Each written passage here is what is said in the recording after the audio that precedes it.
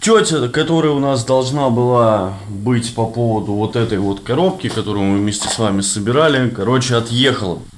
Вот, но, но отъехала не в том смысле, что, короче, в Альхалу, да, нет. В смысле, что сказала, позвонила, можно я отменю? Я говорю, ну, конечно, можно отменить, только я материал весь закупил. Она такая, ну, блядь, извините.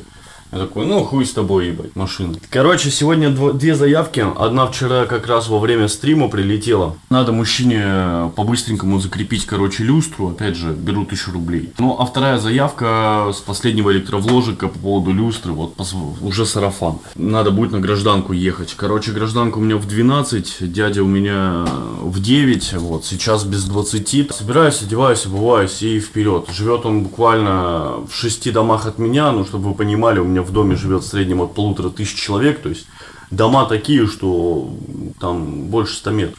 Километр 100 до него пиздовать. Вы дальше, я надеюсь, все увидите, что происходит и как происходит. Ну и как всегда, не забывайте ставить лайк, подписываться на канал, там же оставлять свои комментарии. И не забывайте поддерживать канал. От вашей поддержки зависит частота и качество выхода всех видео, а также стримов, на которые вам тоже стоит залетать. Короче, есть еще одна поправка, помарка, которую мне очень хотелось бы вам донести.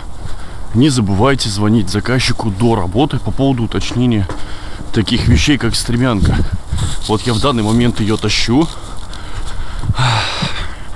И понимаете, если бы я сейчас не позвонил заказчику заблаговременно, я, кстати, меня буквально осенило, мне пришлось бы идти домой и брать стремянку. Потому что заявку я бы не сделал, либо заявку пришлось бы отменять. Поэтому, ребята, кто встанет на пульт шабашек и халтур по поводу стремянок и прочих особенностей, лучше перезванивать и сразу спрашивать, нужна ли стремянка, нужно либо какое-то отдельное оборудование, есть ли все необходимое. Вот. Иначе будет капсда. Вот. Ну, я надеюсь, что с люстрой там точно проблем не будет. Там будет все на месте, и она, надеюсь, новая, но не факт.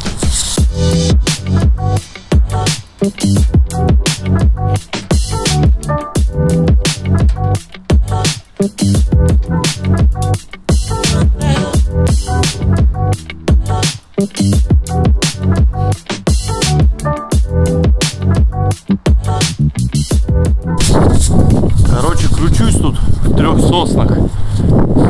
Ввиду того, что все дома очень сильно похожи, да еще и плюс все огромные и на больших расстояниях, приходится прям кру... блять, крутиться, вертеться везде. А еще к некоторым домам не подступить, там всякие, знаешь, ограды там и тому подобное. Пытаюсь сейчас найти 11 корпус 2 дом. Вот, если это тот дом, о котором я думаю, конечно, будет вообще жестко. Самое главное, здесь еще же у нас а, речка небольшая, есть Мурина. Вот. И, короче, эта речка еще и разделяет немножко дома. И рядом находящиеся дома могут быть прям на таком уверенном расстоянии по одной простой причине. Перехода через речку нет. То есть приходится выходить на главную улицу, на Менделеева, и все это дело обходить. Либо с обратной стороны, не помню, как улица зовется. Ух, жесть, короче. Я был не готов тащить с собой стремянку. Вот, морально не был готов.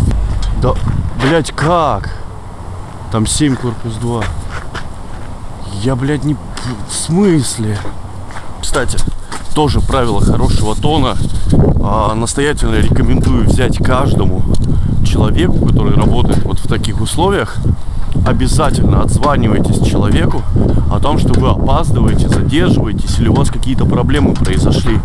Потому как любому человеку а, неприятна неопределенность. Для нас вообще в принципе а, менять свою жизнь нам как ленивым а, мозгам вообще большая проблема. Поэтому каждый раз, когда мы впадаем в какую-то неопределенность или в ненормальность, мы получаем дикий стресс. И вы, если будете источником этого стресса, это будет крайне плохо для вас и для вашего бизнеса, назовем это так. Хотя, в принципе, если брать американское слово бизнес, то оно как нельзя лучше отражает то, чем я в данный момент занимаюсь. Вот в России, конечно, слово бизнес сильно ублюдочно, опорочено и унижено. Во, смотри, 11, корпус 2. Охуеть, как, как, как я его нашел. Вот теперь, теперь фокус номер два называется «Найди вход». Вот где? Ну вот смотри, вот здесь, видимо, ну, откровенно понятно, что здесь всякие торговые движухи. Но либо, значит, с той стороны, либо сверху. Ну, давай попробуем снизу найти, что ли, вход. Потому что, ну, вообще какая-то дичь. Смотри, как я выгляжу со стороны. Прикинь. Вот так вот я выгляжу со стороны. Я, короче, потихонечку поднимаюсь наверх. То есть сейчас будем тестить варик. Вот я был там. Теперь я иду туда. Вот сейчас будем смотреть, сверху ли вход. Да, чувак, прикинь. Смотри, тут реально, короче, входа сверху. А снизу, видимо, просто парковочные места. Но вот, ребята, кто не из Петербурга, кто из маленьких регионов, посмотрите.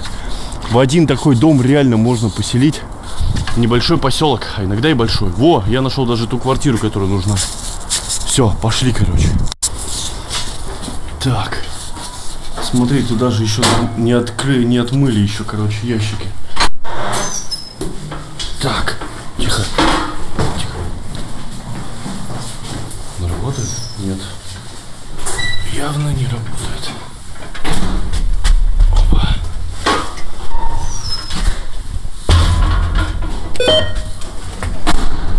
Вот, короче, видишь, Алекс лифт. Фух, блядь, как сложно-то, а. Что-то прям тяжко вообще. А, Со стремянкой ходить. Да у меня, видишь, у меня стремянка стальная. Надо алюминиевую брать на подходы. Ну, короче, если много будет заявок, буду брать себе алюминиевую, короче. Здравствуйте. Опа. Фига. Прикинь. Офигеть. Мне нравится. Хорошо, предположим. Вот это порнография. Охренеть. Офигеть.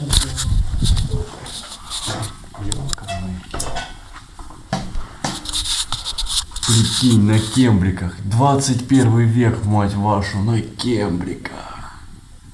Ё-моё, вот и они разводку, видимо, по всему свету, короче, ёбнули в коробке.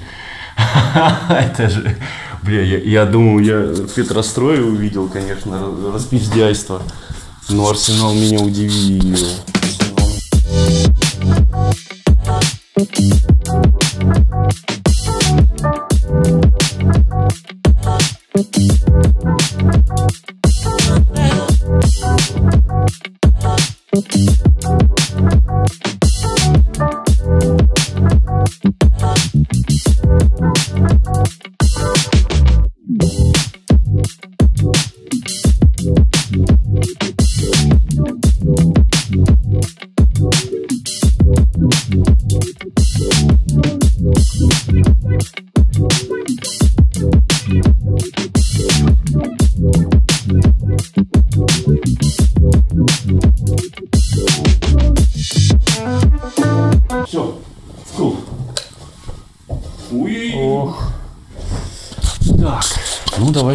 ты еще не села.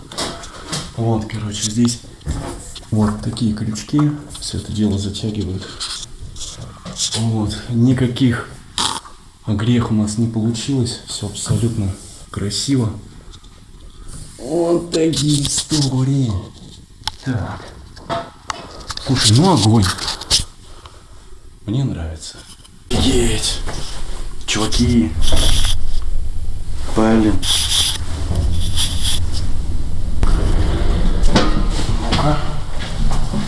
Ну-ка. Ну-ка. Подожди.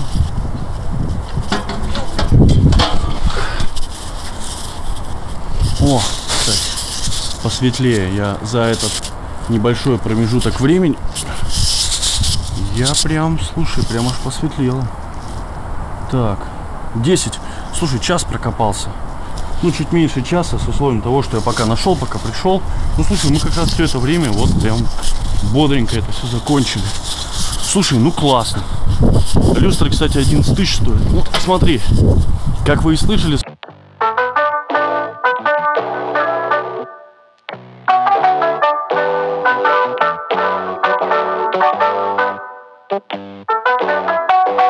Собственно, что я сразу сказал, что здесь не 1000, здесь как минимум еще плюс 300 рублей.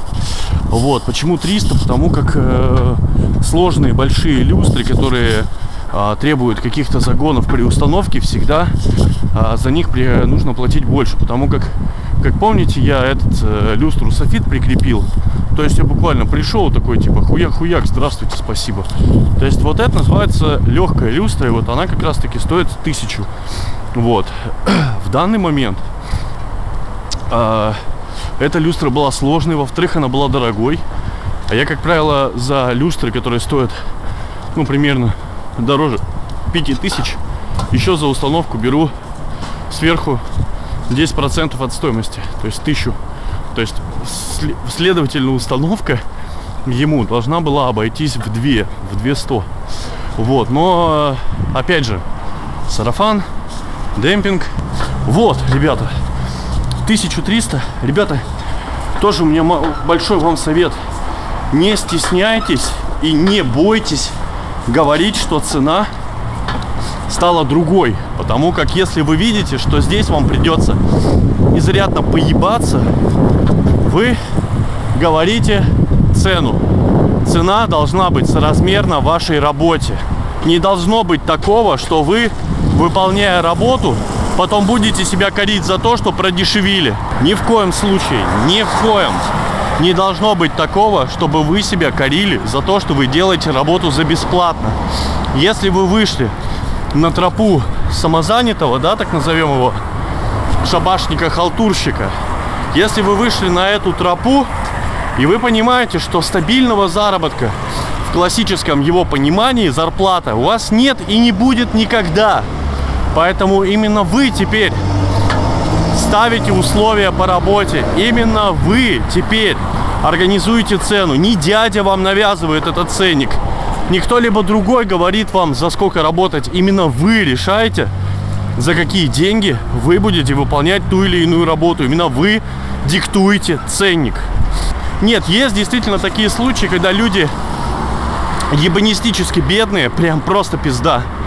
Вот, но работу им нужно выполнить либо у вас в данный момент какие-то финансовые проблемы, и вы готовы сделать работу не задорого. Хорошо.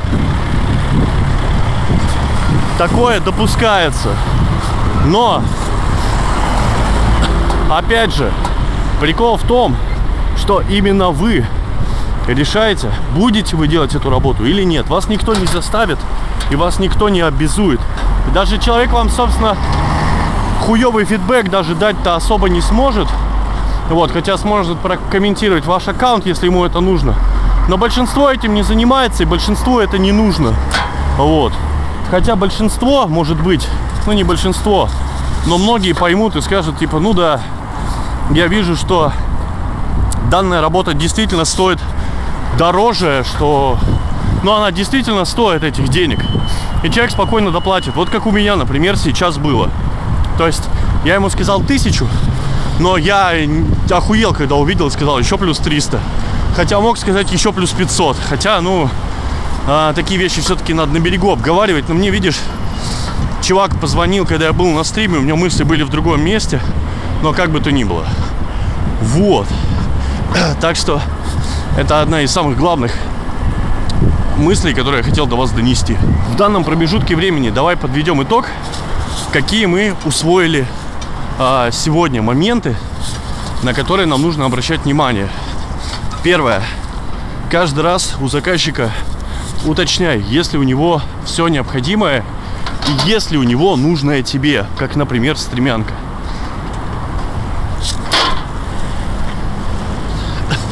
не узнав у заказчика заблаговременно необходимое оборудование либо материал, ты попадаешь на то, что тебе приходится бегать, прыгать, тратить свои или его деньги и тратить очень много времени, которое для тебя ценно. Для меня оно очень ценно, у меня не было времени выеживаться.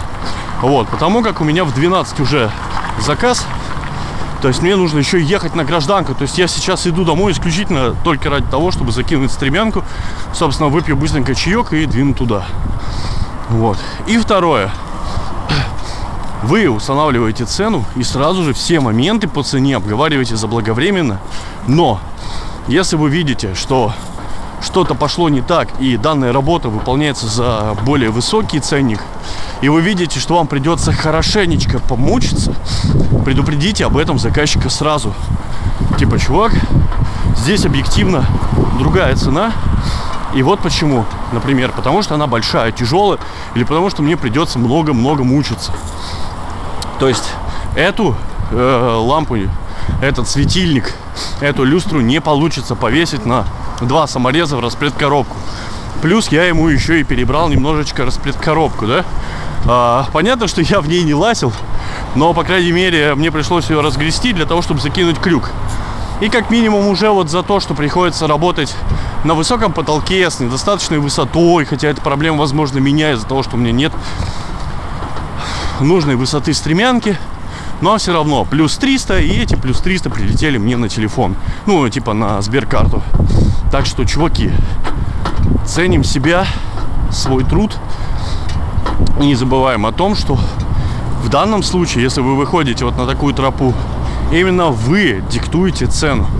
И пока что, допустим, вы там дохера вес не в налогах, по самую не балуйся, плюс там вы не работаете под дядей, то все деньги вы контролируете сами. И вы должны ставить ценник тот, который будет удовлетворять именно вас, для того, чтобы в конечном итоге вы не корили себя за то, что делаете работу за крайне низкую цену, и вас это дико не устраивает, и работу вы делаете плохо, и вы весь такой нервный, и вообще там э, все идет не так, все валится из рук, работу делаете долго и плохо.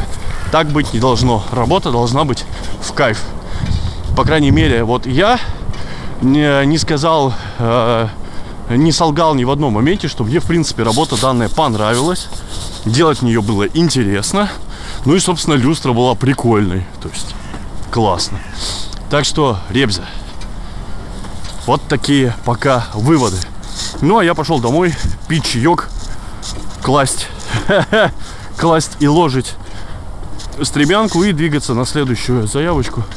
Ну, а когда пойду, опять же, сниму небольшой очерк. Не забывайте ставить лайк, подписываться на канал, там же оставлять свои комментарии. И не забывайте поддерживать канал. От вашей поддержки зависит частота и качество выхода всех видео, а также стримов, на которые вам тоже стоит залетать.